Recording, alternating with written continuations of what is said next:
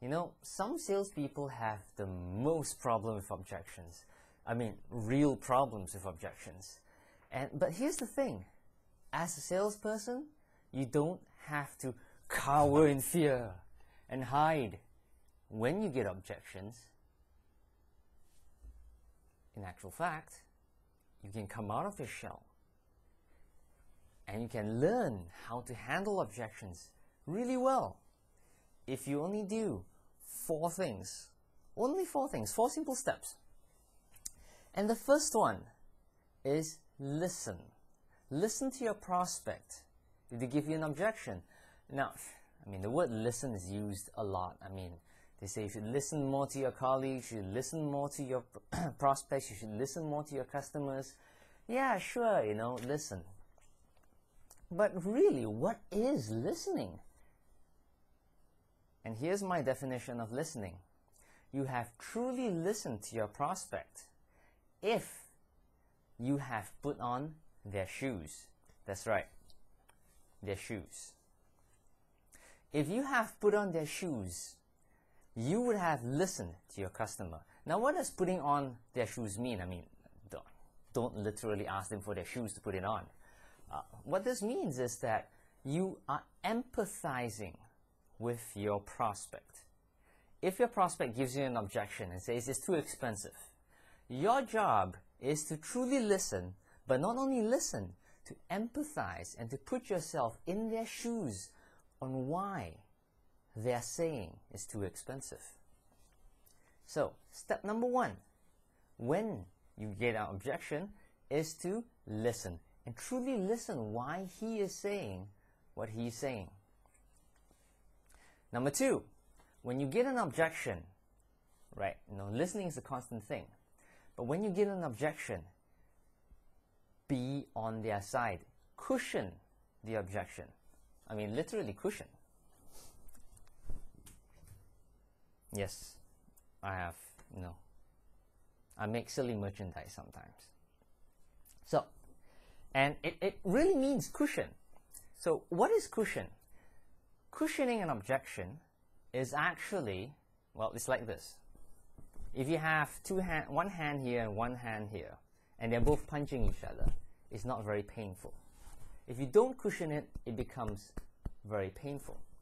So cushioning is actually that space you have between them giving you the objection and you answering the objection.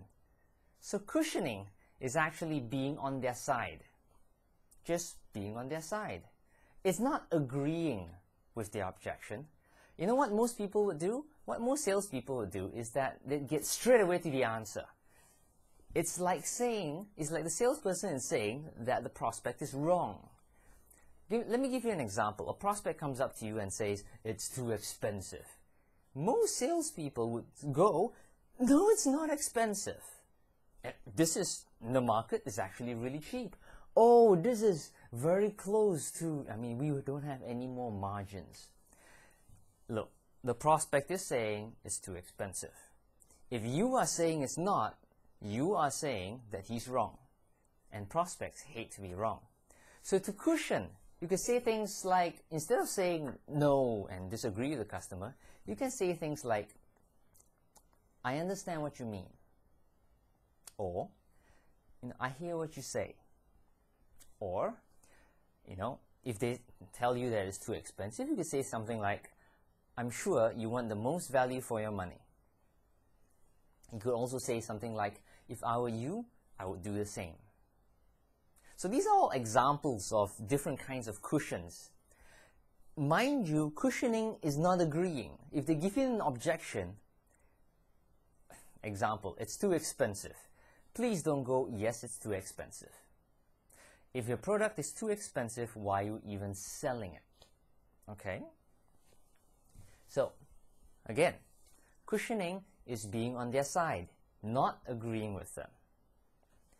So, number one, when you get an objection, number one, what you do is listen. Number two, what you do is cushion, be on their side.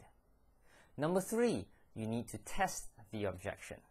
Now, what is testing the objection? Testing an objection is like digging for the truth, digging for the real reason behind the objection.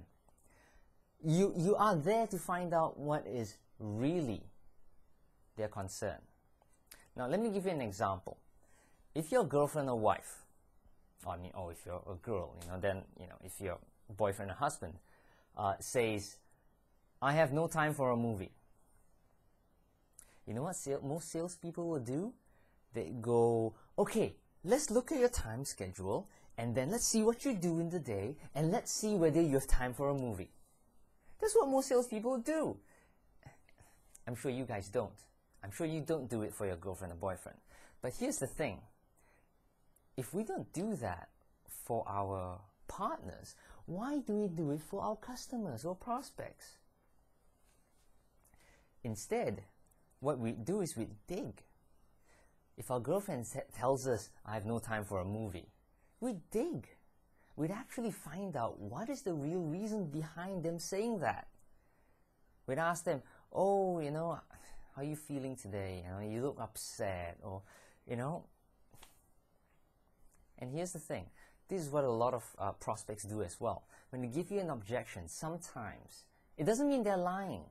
It just means that sometimes, look, it's hard to say no to a salesperson. It's hard to say no to anyone. So in, in sometimes it happens that a customer would give all these reasons for them not to buy and it comes up as objections. You know just so they don't offend you just so you know you'd leave and you know you'd still be okay. So your job as a salesperson is to test the objections to dig for the truth. As much as you dig for the truth when your girlfriend tells you i have no time for a movie so again number one listen really empathize number two you cushion all right, you want to soften the blow. You want to be on their side. You want to show them that you're not against them. And number three, you test the objection. You want to dig for the truth. You want to find out the real objection. And only then can you do number four, which is handle the objections.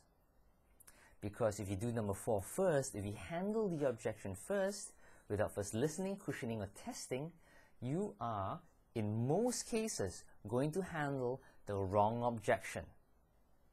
It's a smokescreen. So, more on handling objection or how to handle objections on other videos in this site.